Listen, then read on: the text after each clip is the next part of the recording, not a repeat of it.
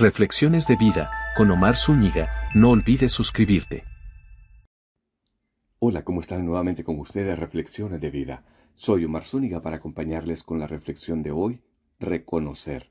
Y el texto bíblico lo encontramos en Santiago 4.9 y nos dice, reconozcan sus miserias, lloren y lamentense.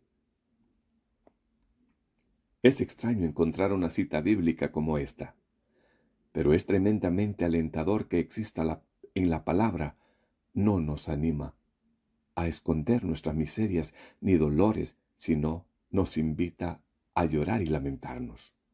¿Cuánta falta les hace a tantos entender esta simple verdad? Dolor que no se reconoce enferma. Cuando el cristianismo enfatiza el gozo por sobre la tristeza y sataniza o convierte en pecaminosa la tristeza, entonces provoca un daño de consecuencias incalculables. La tristeza es parte de la vida. Quien no vive tristezas, en realidad no vive. Cuando dicha tristeza se convierte en algo más profundo, dolor emocional que no se puede tolerar, eso se torna en depresión, que no es más que una enfermedad del ánimo que debe ser tratada por un especialista. Nadie está libre. Teddy Parker Jr., de 42 años, pastor de la Iglesia Bautista en el estado de Georgia, en Estados Unidos, se suicidó, disparándose con un arma en la cabeza. Según publica eh, Gospel Prime, citando en Charisma News. Su esposa lo encontró en la entrada del garaje de su casa el domingo. Él había predicado esta mañana y tenía que volver a hacerlo el mismo día. No dejó ninguna nota explicando su lamentable decisión. ¿Qué pasa por la mente de una persona depresiva que decide terminar con su vida?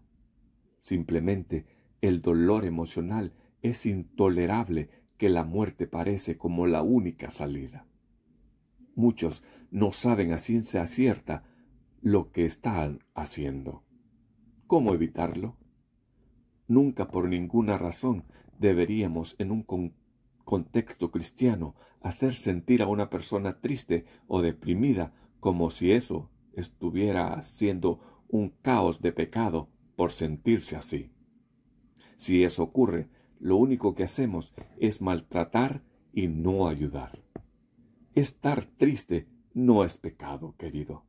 Es cosa de leer los salmos y ver al mismo Cristo Jesús clamando en el Getsemaní.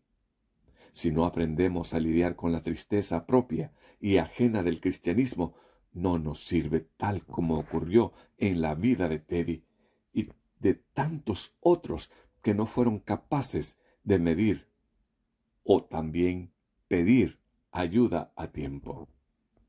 ¿Estás pasando por momentos difíciles a tal punto que crees que morir es la mejor salida?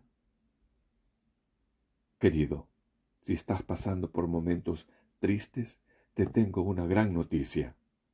Eres lo más lindo que Dios tiene en este mundo y envió a su Hijo para morir por ti en la cruz del Calvario.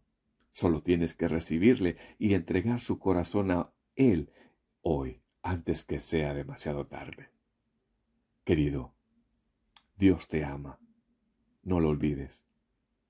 No importa en qué situación estás viviendo, Él te dice, venid a mí todos los que están trabajados y cargados, y yo os haré descansar.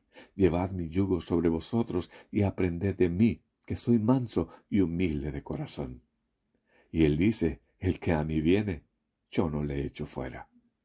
Esto ha sido Reflexiones de Vida. No olvides compartirlo con tus amigos y familiares. Quizás alguien está pasando por momentos difíciles y tú puedes ayudar. Regálanos tu like y no olvides, entrega tu corazón a Jesús antes que sea demasiado tarde, porque el Señor viene muy pronto. Que el Señor te bendiga. Aula 7 presentó Reflexiones de Vida.